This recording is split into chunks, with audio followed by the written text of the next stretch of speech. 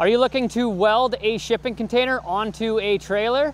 Our customer wants to install that container on that trailer and instead of us welding it, we're gonna show you a method that allows us to use our stacking twist locks and then the customer can now remove this container and use their awesome flat deck trailer whenever they need it. Stay tuned.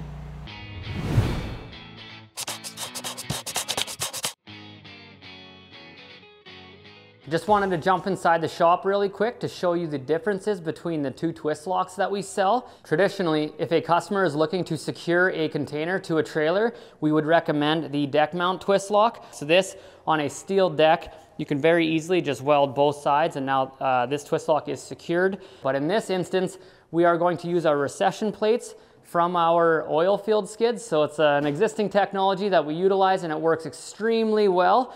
Uh, what we do is we actually cut out the uh, web of the beam and then we stiffen it with these fish plates. And then now we're able to use our stacking twist lock.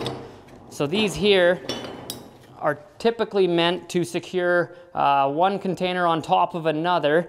And the issue with them is that they'll actually collide with something. And so that's why you just want the one-sided twist lock. But with our recession plates we are able to utilize this. And then when you're not using this you can take these twist locks and just throw them in your toolbox and now nothing's protruding above the deck of your trailer and you have a perfect flat deck to work with when the container is not on it. So let's jump outside and see how they're doing.